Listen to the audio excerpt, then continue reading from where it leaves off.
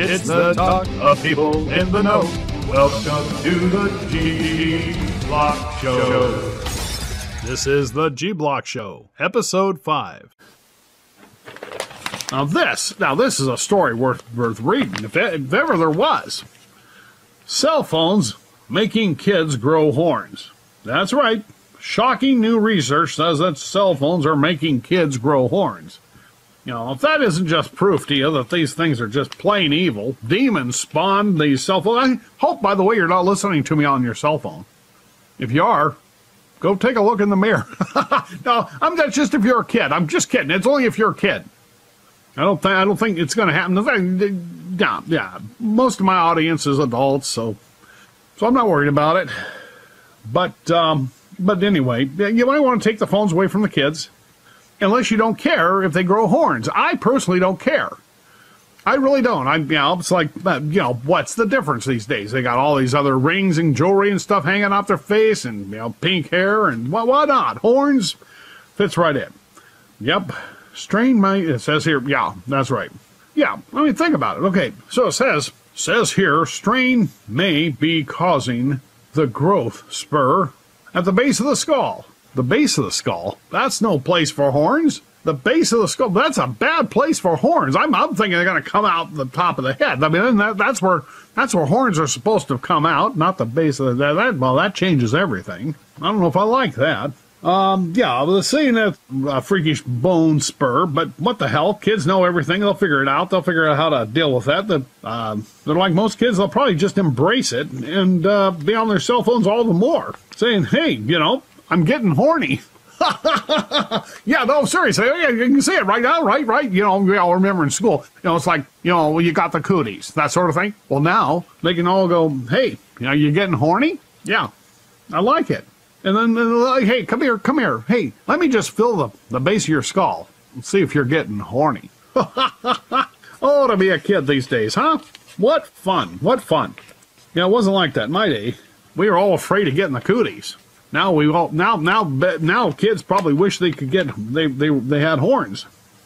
Rude doctors and surgeons with bad attitudes. Oh yeah. Because I know why it's the God complex. Yep, and they think everybody's beneath them, and so therefore they're you know arrogant and rude, and and they're they're real jerks. Uh, snooty surgeons could kill you. Well, don't tell me. Yeah, I think we're just gonna move on from that one. Um, try to stay the hell out of the, the hospital if you can. Yeah, yeah, right. And if you do end up having to go into the hospital, okay, you know, got your surgeon one thing you can do is say, you know what? I bet, you know, if it's a, you know, I just bet you couldn't save my life if you had to. I just bet you couldn't, you know, that sort of thing. Because then, then they got to prove it to you. No, you know, their ego gets their ego gets in the way, and they're like, no, I'll show you.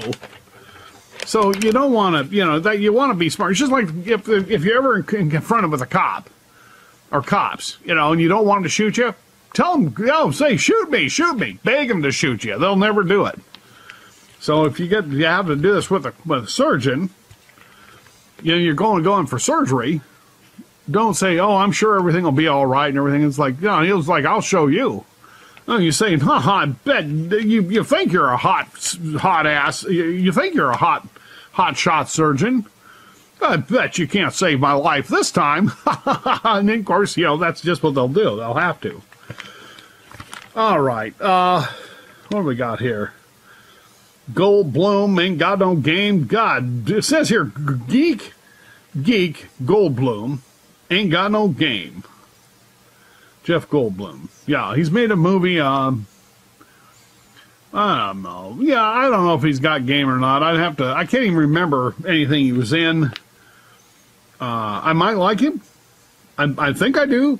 But to say he ain't got no game, I don't know. Give him give him a game then. Jeez, come on. Be be nice for once. Tabloiders, I mean loiters. Yeah, here's one. I, I, I, you know, it says here. Uh, this is just for uh, uh, to to subscribe to this magazine here. It's a you know it's a tabloid. You know, it says here on this just this this kind of come on little ad. Uh, it says Charles Prince Charles motive for murdering Diana. I think we, we already know what we don't. You know, come on, people. if you're if you're that damn you know, stupid, uh, you know, forget it. It's not going to work. You know, you know, nothing, nothing, nothing's going to get through to you. Uh, psycho lion. Says now it says psycho, psycho sea lions. I did not know that sea lions could be psycho, but apparently they can. Just like humans, there's there's always apparently some bad ones in the the the bunch. But this this one ambushes a teen. This teen's just out having a good time um, in the in the ocean of all of all places. We got to watch it when you go in the ocean. That that's a that's their world, baby. That's their world. Okay. Yeah, that used to be ours millions and millions of years ago, but we gave it up, and well, I'm sure we didn't fare that well back then either. But anyways, the sea lion leapt out of this California surf and mauled this teenager, this teenage girl. Just now, come on what what what did she do to provoke him? You know, she did something. What she was, she must have been splashing. She's walking around. Um, you know, maybe she's maybe she I don't know. Maybe she. It says here, yeah, right here. So she was jumping around, dancing, just having fun, just having fun. But the sea lion doesn't see that. The sea lion's like, "What the hell you doing in my ocean, babe?" You're you're making me a you're making me a nervous wreck. Get out of my ocean, and you know just to kind of help you along, I'm going to take a little nip at you here and there. Come on. Anyway, they were just she was just having fun with her friends. They were all taking funny. They were taking pictures of her, and they were all just laughing. And then, yep, here comes Psycho Sea Lion that just attacked her. She said she felt she felt it on her leg, and then she looked down and freaked out. she said, and she she admits she didn't know what it was. Then then witnesses told her, "Hey, that was uh, that was the that was a crazed uh, animal. That that was that was the that was the psycho sea lion." And so now she she's got this little bite on her leg, and she's kind of like a celebrity apparently, bloodthirsty, bloodthirsty. Now, he, yeah, come on, bloodthirsty Bloodthirsty sea lion. Attack triggered by poisoned fish. It's saying now the fish is poisoned. Well, if that's the case, then let that be a lesson to humans. Let that be a lesson to humans. Stop poisoning the fish. They, they don't like it, and uh, they'll go psycho on us. All right. Oh, let's see. We're getting kind of near the end here. Oh, here's one. Convicted con- con- convict Cosby's fantasy world. Yeah, he's an. It says here he's an 80 year old sicko, is prancing around prison like he's a wronged saint. Well, you know, if this is all true, everything that happened, and I have no reason to doubt it, he was a sicko long before he was 82. In fact, some people don't. Yeah, they never really brought this out, but when you can have any girl in the world, and then you choose to have them when they're unable to do anything, well, that's kind of like what is that? Nephrophilic, neph- nephrophiliac, or something like that. You know, you want a corpse. Now that is pretty sick, but they never brought that out really. I wonder sometimes about his son. What about his? What do you mean? What about his son? He was killed there, coming off of a exit or going on an exit there somewhere in L.A. And I just, I don't know. I just wonder if he didn't tell dear old dad, "Hey, I got some pictures or some tapes or." Something if you don't give me some money. I think that uh, they might find their way to the public. The next thing you know, he mysteriously gets killed. Then for some reason, Cosby just doesn't miss a beat. Doesn't seem to phase him. Yeah, well, could be something to that, you know. I, I, I'm, yeah, I don't know. I don't know that story that well, but hey, I'm certain that it is. I'm certain it's worthy of the tabloids, at least. And if there's some truth to it, then you know you probably won't find it in the tabloids. But it, but anyway, but but let's just okay, all right, yeah. Well, now let's see where we are here. Kelly Ripa, which some people don't realize this, but I really don't give a rip for Kelly Ripa. I think she's a nice kid, and all that, but but you know, just not my cup of tea. It says that uh, she's having a one million dollar second wedding. Good lord, one million dollar second wedding. Uh, yeah, yeah, a, a gala at her Hamptons home, and she, of course, wants Chef Chef Gordon Ramsay. Well, why not? Why the hell not? Jeez Louise. When you've got it all, you might as well have it all. Oh, and it's not even a second, it's a second wedding, but it's to the same guy. She's just renewing, she's just renewing her vows. Oh my goodness. God, yeah. You know, it's been 23 years. Those old vows are getting pretty stale. We better do something about it before this marriage just dissolves right under our feet.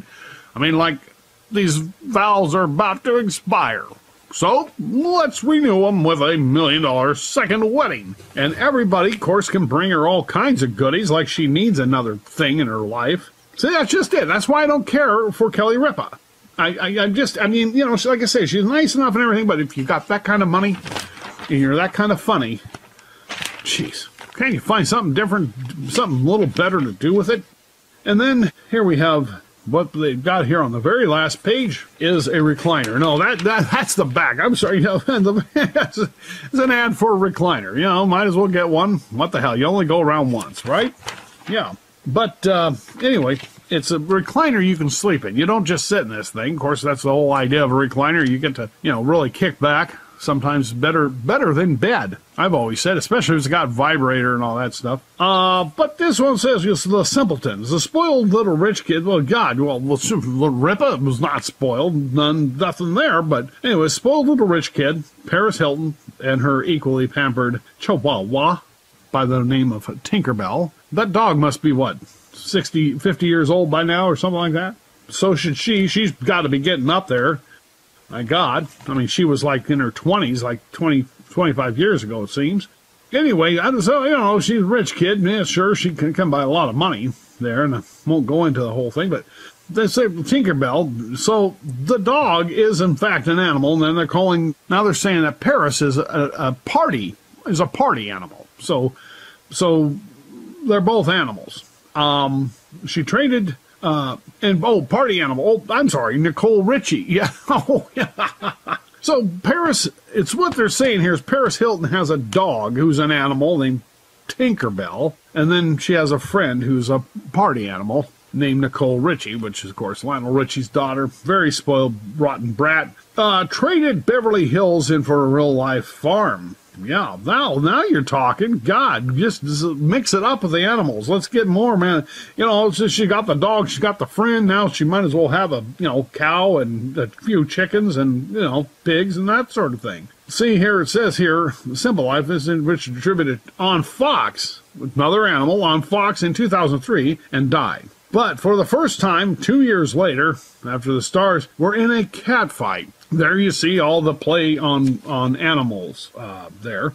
Another network revived the series a year later because apparently they, these girls ended up in jail and got DUIs and all that. But that they, they it crashed and burned. So that's too bad. Too bad for them. I'm sure they can take all their millions that their their parents have and they'll they'll get by. Maybe they'll open up another, you know, maybe they'll open up an animal shelter or something. Do something decent for the world. Anyways, that's going to end it for this. That's going to end this whole thing because I'm out of Lloyd. I'm out of tabloid stuff here. That's it. All right. Well, that was great. Well, thank you. That was. It was. That was great. That was great. Yes, indeed. That was great. So, until next time, you've been enjoying another episode of The G Block Show, and we hope you're telling your friends about The G Block Show.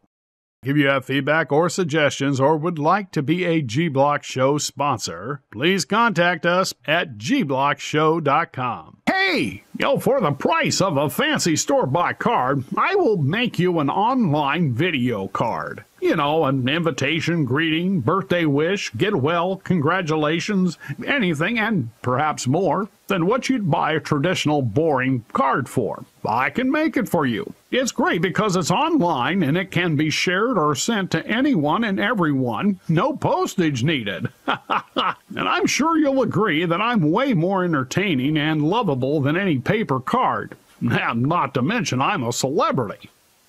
Oh, it's so easy. All you have to do is go to www.gblockshow.com. And that's all one word, G Block Show. And then, of course, little dot com.